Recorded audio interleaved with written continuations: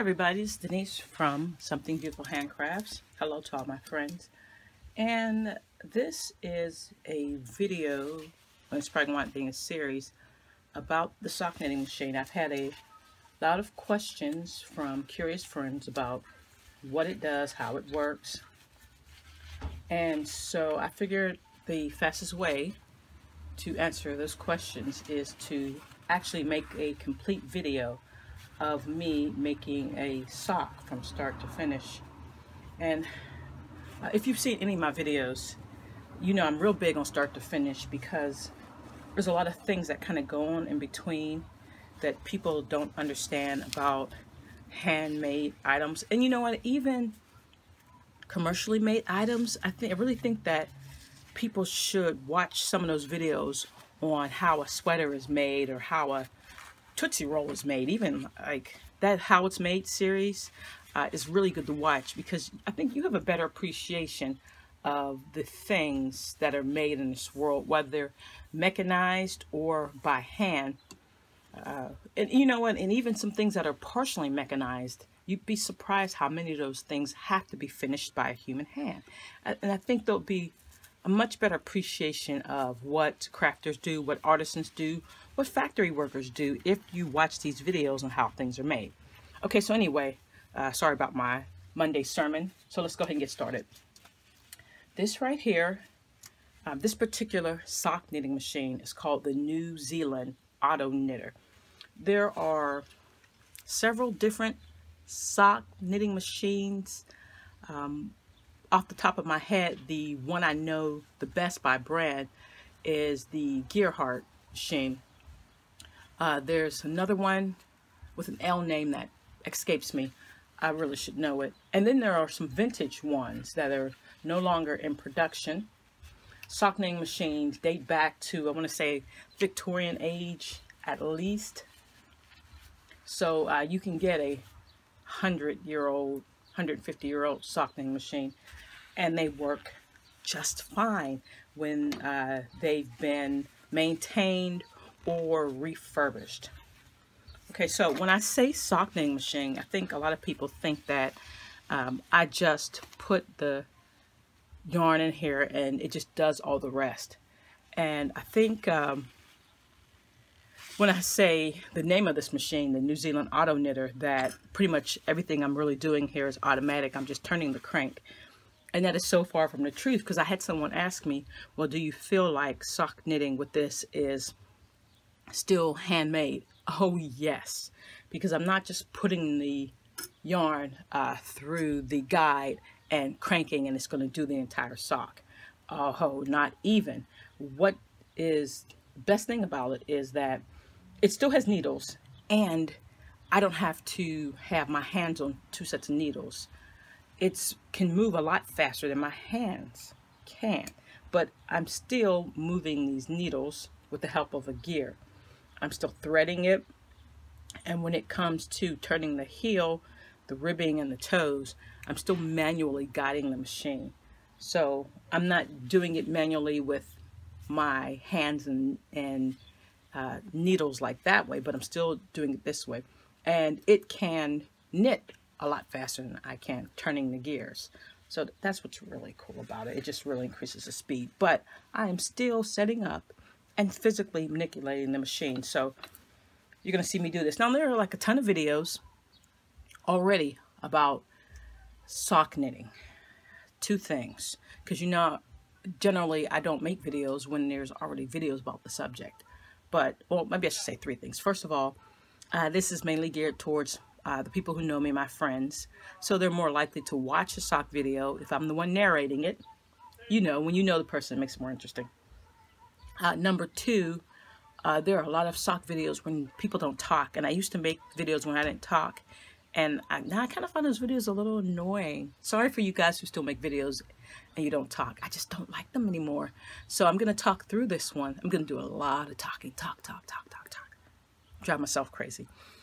Uh, and number three, I don't, I'm not an expert in sock knitting. I've only had this thing, not even a month yet. But I have made a complete sock in that time. So I figure it's fair for me to talk you through uh, what the sock making process as I know it, uh, since I, I know enough about the machine to make a completed sock. And, okay, so maybe fourth, uh, this will help my mentor kind of pinpoint the places where I'm lacking in knowledge because then she'll be able to see me physically walk through a sock and she can say, oh, okay, when you did that, uh, this would have been more efficient if you had done this way, or this is how you got this wrong. So this, this video is not just to, you know, help my friends understand what's going on or to demonstrate the machine, but it, it will also help uh, those who are helping me uh, understand what it is exactly that I'm doing, uh, pinpoint those places where I could be doing it better, um, or, or give me those little extra tidbits of knowledge that uh, you can only glean when you see someone in action and you're able to uh, pick up on how they're working. So here we go. Now, like I said, uh, it's called the New Zealand Auto Knitter, or I like to call it the NZAK. And Auto Knitter is its name. It doesn't automatically knit, uh, but it did come from New Zealand. So the actual company is in New Zealand. Uh, you know, I don't know the year on this machine. I should probably ask, but um, it was bought and shipped directly from uh, New Zealand. And I want to say that the previous owner was the first owner of this machine. I don't know, but it's really set up quite nicely. So when it came to me, uh, I, I'm under the impression that the auto knitters always come assembled from what I was reading the manual. So it came to me, of course, assembled for the most part. And uh, what wasn't assembled was fairly intuitive for me to put together. Okay, let me see if I can talk you through this.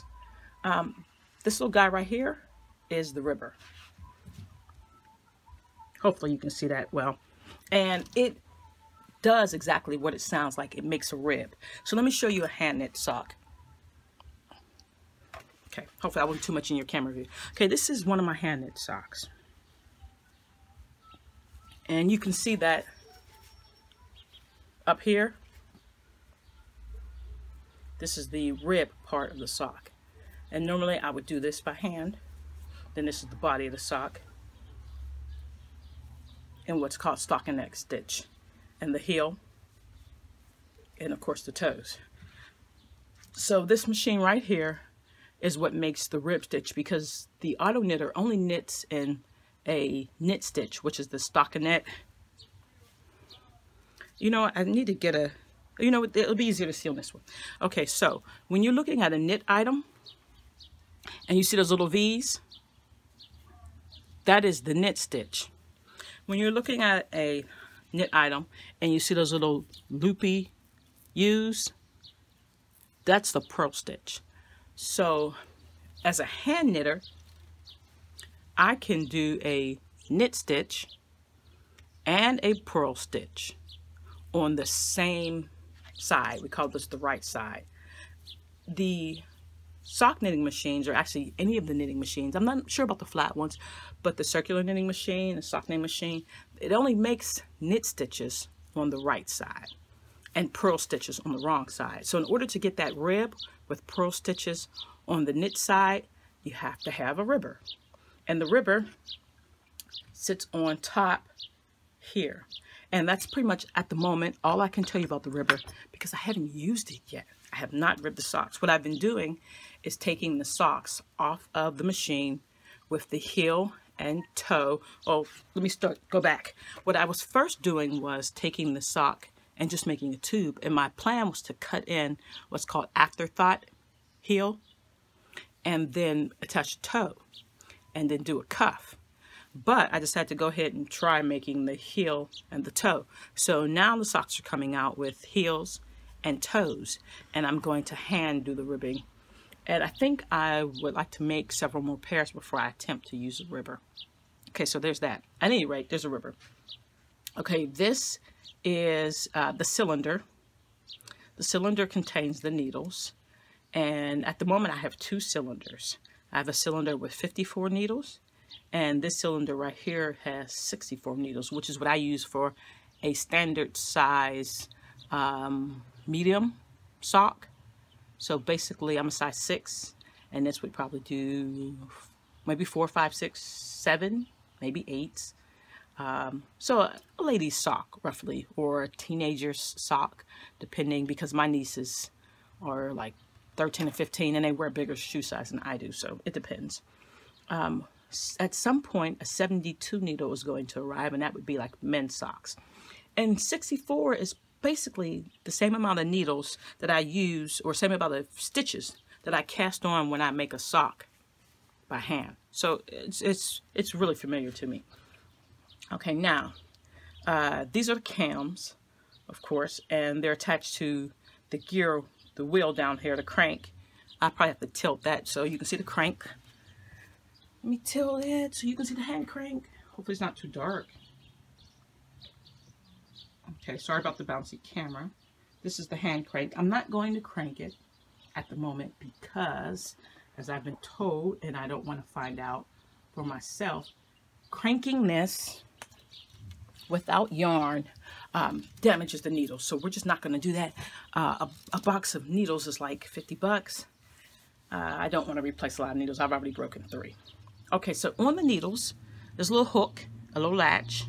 The needle comes up, grabs the yarn, it goes down, the latch flips over top of it, holds it in place down here, and as it spins around, needles lift up, they grab yarn, they pull it back down, they latch, and then what happens is the same thing that happens on your knitting needles at hand.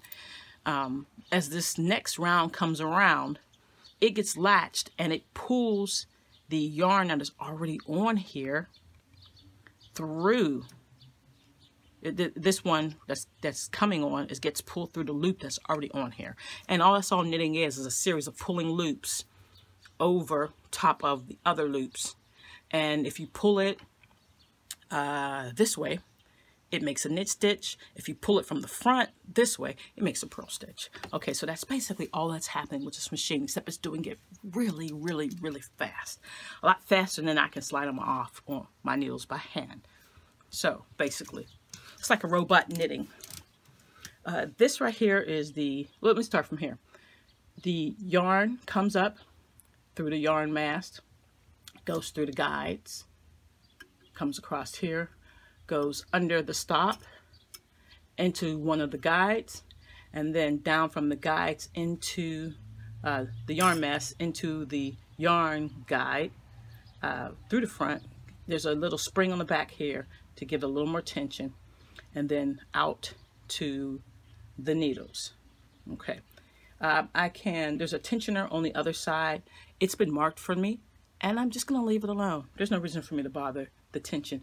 Uh, if I start changing different yarns, maybe if I have a hand spun up sitting through there, I might want to change the tension. But for now, we're just going to leave it alone.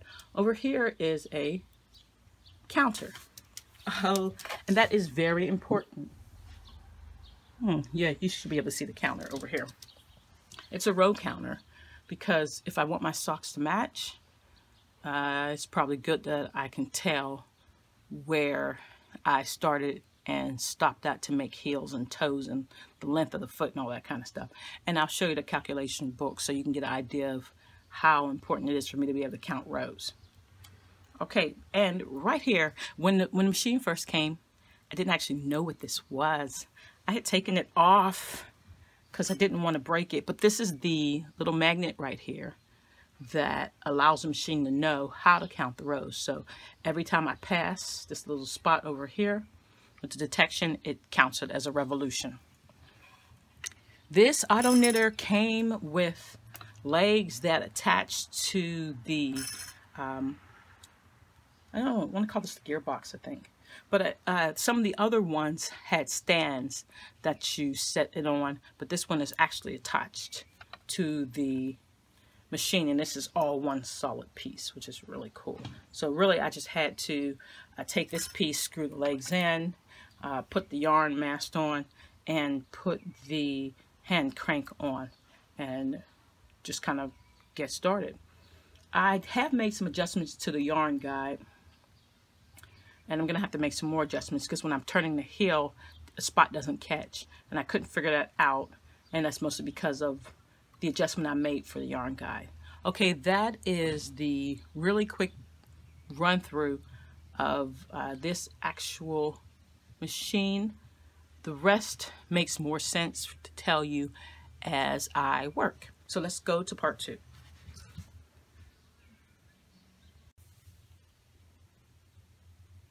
Okay, so I apologize for the audio in the first part. Um, as we know, I live in the city, not quite in the hood anymore, but it's basically still the city. And so I'm just yard to yard with neighbors, and I really can't control um, if they're going to play loud music or talk loud on the phone, have kids run around, dogs barking, UPS, USPS, Amazon, FedEx. It's just kind of hard, you know. I don't live in a peaceful, you know, countryside.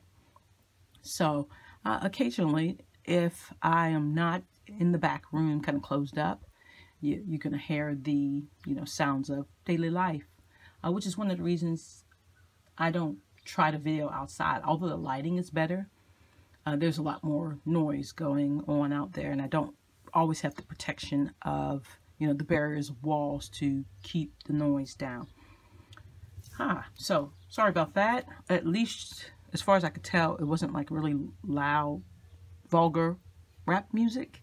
Then that probably would have been a problem. I would have had to reshoot the video. So, at any rate, um, you maybe recognize this book. I need a new one.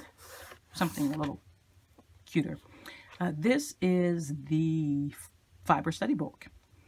And inside of it are the study pages for breed studies, uh, this These particular pages I created myself. Uh, then there are the study pages for weaving. And these ones are from Peggy Osterkamp's website. And also, just to keep everybody in the same spot, this is the sock, uh, the circular sock machine CSM sock worksheet. And this one is from, let me look, Cheryl Roy, uh, the Shepherdess, the 1764 Shepherdess.com. And I'll try to remember to put the link in the description. So, I was going to create my own, but this is just such a really cool page. So, no reason to reinvent the wheel. Okay, so if you've ever seen me do anything, you've ever worked with me, uh, you went to college with me, like you passed me on the street, you know everything I do is really thoroughly planned out. Even when it looks like I'm winging it, it's because I've already planned it out and done it before, so I'm just repeating that. And I'm really obsessed with my socks matching, and the only way to do that is to plan. So this is like the best worksheet ever. I love worksheets. Must be a teacher thing. So you have the finished size here, and you mark it men's, women's, child, toddler, baby. The yarns is really important because different yarns work up differently. You got to know that they require different tensions the sockening machine used, which for me is always going to be the NZAK. And I know people who have more than one, which is how I got the NZAK anyway. Uh, and that's just a wonderful thing. I have more than one spinning wheel, so I understand what it means to have more than one machine, more than one of anything. Uh, the cylinder size. Now, my cylinder size is not marked on here. I got a 60 instead of, I have a 64. This is a 60. So I just scratch over top and put it on there. 54 is Still packed, the 72 is on its way, but different cylinder sizes make different socks, different thicknesses, uh, different stitch count. So it's kind of important to know which one you used. You think you'll remember, but I'm climbing past, you know, the 40, so I don't always remember what I think I'm going to remember. Now, the gauge. Oh, I should have brought a ruler with me, but I brought a sock. And uh, hand knitters understand the gauge. And I very seldom knit anything that requires a gauge. But this is really important here. You have to know how many rows per inch you get because that is how you measure the amount of the amount of rows that you're going to crank out to get a particular length. And it's different for different socks, uh, different yarns is different for different adjustments on the machine. So this is really important and I get 11 rows. Well, it's more like 11.5 per inch. That is my gauge for what I have set on that machine in this one. So, for 4 inches, I would get 44 rows. Well, more like 46 when I'm adding the halves in, but we, we, we're okay with that half. Okay, so I know that for every inch I measure on my leg from wherever it's going to start on my leg down to the instep, which is where I'm starting the heel at my instep, right above my ankle, I know that I have to account for 11 rows for every inch. And that's how I determine how many rows are going to go here. Okay.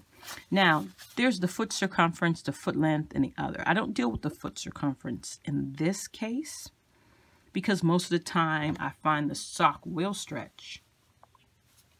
And so I don't really worry about that. I have a small foot, but it's wide. So when it comes to wearing shoes, I really want to know my foot circumference. When it comes to making socks, it's not so much a big deal for me. Okay. But I measured my foot length from the uh, heel to the tip of the toe.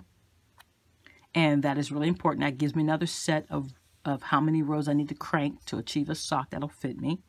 Where to stop cranking and then to add on the, um, the toe. Okay. Number of needles used because if I was making a child sock and I was doing it on a 48 or 54, I wouldn't use 48 or 54 needles, even though that's what the cylinder holds. So you don't always use all the needles on the cylinder. So that may be important for me. It's not because I'm making the sock for the needles required in the cylinder. I'm not taking anything out or adding anything in. Okay, now I check my construction just in case I forget um, whether I'm doing toe up, cuff down, hemmed, ribber, mock rib, or other. Okay, when I knit my socks by hand, they are always toe up two reasons. Uh, firstly, because a lot of times I'm knitting from one ball of yarn. Yes, I do it all the time. And I make a sock that is like a crew sock. This one is longer than that. But a lot of my socks are crew socks. So I'm knitting from the bottom up and I'm knitting till the very last, you know, inch. So it's a lot easier to stop when you run out of yarn. If you're going down, then there's a lot more calculations to have to put into place. And when I'm knitting by hand, I'm just knitting. I don't do any calculations. That's another reason why I go toe up because I've tried on my foot as I go up. So I don't have to do any measurements of how many stitches I should have on my toe. I don't even, the, the books tell you the, the patterns tell you how many stitches you should wind up with because you like cast on eight and then you increase a certain amount till you get to a certain amount and then you start the foot and I don't do any of that I just cast on a certain amount and I try it on. When it fits across the width of my foot then I stop increasing and I go up. And when it fits right around the instep at the back of my heel then I start my heel and go up. Okay, so I bypass all of those instructions because I am um, going toe up. I just try it on, which is also one of the reasons why I don't make socks for other people generally because I feel the need to go toe up because I'm not really following a pattern based on the size of that person's foot. I've only made socks for one other person, my sister-in-law, and I think I drove her crazy trying them on.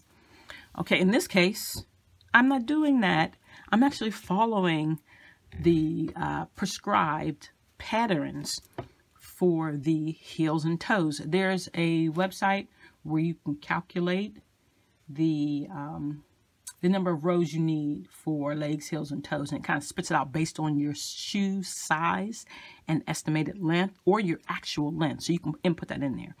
So I did that for a couple different people, mostly people in my family, which gives me a good range of average size feet. And because of this handy dandy worksheet, I have marked it all in there. And now I have like a reference uh, based on the yarn I'm using and the cylinder I have. I have a good reference of, you know, average socks to crank out. Brilliant. Okay, now on this machine, I'm going cuff down. Uh, and the reason why I started with cuff down on the machine, because first of all, toes and heels are something to master even by hand. And I didn't want to start off just knowing the machine, getting to learn, trying to turn a heel or trying or trying to turn a, uh, a toe. So I cranked tubes only. So the next logical step was I was cranking this tube and I got to the point where I was done with the leg and I was like, ah, I guess I'll try a heel. So going, you know, cuff down made that a lot easier. just went ahead and put a heel there. And then I was like, oh, I think I'll just do a foot and went all the way down. Okay, um, these ones are not hemmed, but I'm thinking, I don't know, maybe I'll do this for you guys. Maybe I'll do one more sock and then I'll do it. But I can always hang a hem.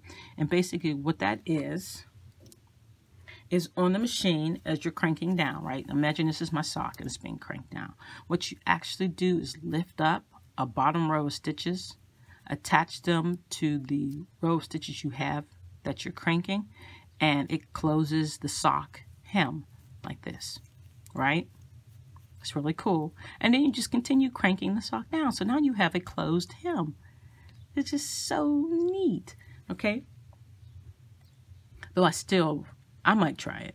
I still kind of like the ribbed hem, so I still might just go ahead and leave the hems uh, unfinished like that and knit my uh, rib on. So I haven't decided. Or you can do a mock rib, which I haven't done either. So at any rate, so if you are making a hem, whether it's a ribbed hem, a mock rib, or a hemmed hem, uh, you have to have a certain amount of count. You want to know, did I do 30? And then I folded that. 30 would be kind of short because, I mean, look at these rows. So you might do like you know, 50 or something, and then fold that over and do the hung hem. So you need to have a count for that because you want the match. You don't want a hem that's this wide on one and a hem that's that wide on the other. That's no good. And then you have to have a count for the leg and a count for the foot. And then some notes. You know, if you're making it for somebody else, you might want to know that. All right, so let me take you to one I already did. Okay, so let me tell you this is information overload, isn't it? Yes, and you're thinking to yourself already, I must be crazy. But uh, this is a really good idea of what I'm doing here. So, uh, okay, I don't want to make my friends upset, but I, a lot of times I get people who want me to make stuff kind of like it's on a whim. Oh, can you do such and such and such and such? And I'm like, oh, yeah, I can. But you really need to understand what goes on through that process. It's not just like easy peasy lemon squeezy and I'd be more than happy to do it, but you kind of have to think about what you're asking me. You know, it's not like you're asking me to run to Walmart and get you a pair of socks. Okay, anyway. All right, so here's a women's sock. Uh, on the inside, of course, I scratched in my 64. I didn't write my gauge. I know it, but I didn't write it. Uh, my foot ten, this foot length is 10 inches, okay, because this is for my sister-in-law. I think who's a size eight and a half or something. Uh, needles used, Gearhart 64. I do have two different sets of needles for different cylinders. Uh, Gearhart needles for a certain cylinder, and if I change cylinders, I have the Auto Knitter, knitter needles for that cylinder. So I'm just sticking with the Gearhart ones. And the number, of course, is 64. It's a cuff down sock. The leg is 110 rows. So from the top to where the heel starts is 110. What I did is I left myself enough rows to unravel the first uh, maybe 15, 20 rows. Yeah, about 20 rows. Maybe a little more depending on how deep I want my rib. And so I will unravel those rows after I put them onto the needle, picked up stitches, put them onto the needle, and I will do the, the rib process myself on the needle. And I have that one in progress. Maybe I'll show you. And then, so that accounts for that length. And that should put it right below the calf muscle, because uh, I did measure that one, and take me to where the heel starts. Now, when I do my heel, it's going to be approximately 50 rows. So I'm watching on the counter, and the digital counter will get me to 110. Once I've cranked straight to 110, I'll start my heel from where I start my heel to the end of the heel should take me about 50 rows, roughly. Sometimes it does, sometimes it doesn't, and I make sure to mark that in the book what the actual was versus what the assumed was. Then from the heel to the foot is going to be 50 rows, okay, and that would be about 10 inches. And then I have a, a approximate for the toe based on the um, what the guide said when I did the calculation. So 48 for the toe. Okay. And that tells me exactly where to start. So I crank 50. And I, what I'm doing is the, the, the machine is adding it up constantly. So I have to kind of do a little math here. I got to add the 110 plus 50 plus the other 50. And that then I know when I hit that number that this is where, when I'm going to start. Okay, so for that one, row uh, 210 was where I was supposed to start the toe. Okay, we don't want to mess that up. Oh, it's okay if I mess it up on the first one, just to make sure that whatever I did on this one, I do for the second one. Okay, now, see, right here I have the leg. I wrote down my heels at 160, my foot is 50, and then my toe was at 258, uh, right? And then I have like the total. Bam, so I know exactly how many rows. And then down here I have who this sock was for and the date that I actually did this sock. Okay, so in that particular sock, um, hold on a moment, let me go get that sock. Okay, I know you all must be going into information overload. So here's that particular sock. Okay, 110. And, ooh, you know what? I, the green, when I did this, they didn't quite match up. So I'm ignoring a small space of this green, which is why I brought this so far down past the like 20 or so rows that I want to do for the rib. And as you see, I'm picking up the stitches down here, picking them up, putting them on the needle so I can do the ribbing. Okay, and then there's our 110 and our heel and our 50 and our toe here okay. And that's basically what that looks like. Uh, I'll show you what the toe looks like when it comes out open and everything like that. That's how I plan the sock. Okay so that's just the first stage applying the sock. Then I have to go to prepping the yarn. Okay I'm going to stop here in this particular video and in the next video I'm going to show you how I prep the yarn